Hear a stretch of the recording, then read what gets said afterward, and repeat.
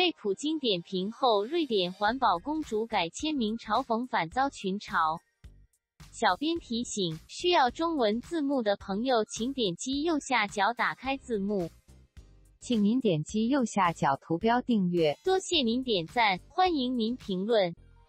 尽管年纪只有十六岁，但瑞典环保公主格里塔·通贝里近期却引起多个大国领导人的关照，遭特朗普嘲讽，被马克龙回击，或特鲁多接见。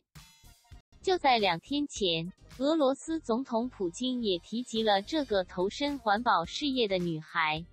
称她虽然善良、真诚，但没有人对其解释过。现代世界是复杂且存在差异的，况且许多欠发达地区的人也希望有瑞典人一样的财富水平，利用清洁能源。不过，要想实现还很难。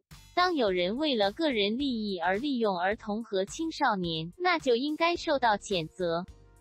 普京直言不讳。在各国媒体对普京的一番评价做出报道后，有意思的事发生了：通贝里个人官方推特上的签名变成了一个善良但孤陋寡闻的少年。有用户对此表示疑惑，他被盗号了。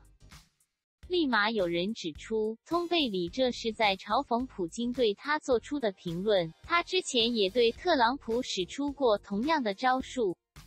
上月底，特朗普曾在推特上评价通贝里，她看起来像一个非常快乐的年轻女孩，正期待着光明和美好的未来。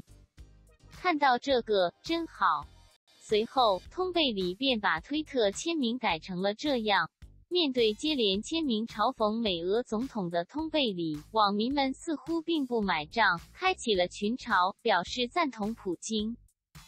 还有人认为，用“善良”一词来形容他，似乎不是很准确。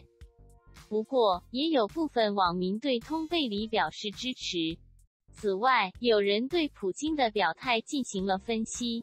上月二十三日，在美国纽约举行的联合国气候行动峰会上，通贝里当着世界各国领导人的面，指责政客们在环保气候问题上的不作为。你们已经用空洞的言语偷走了我的梦想和童年。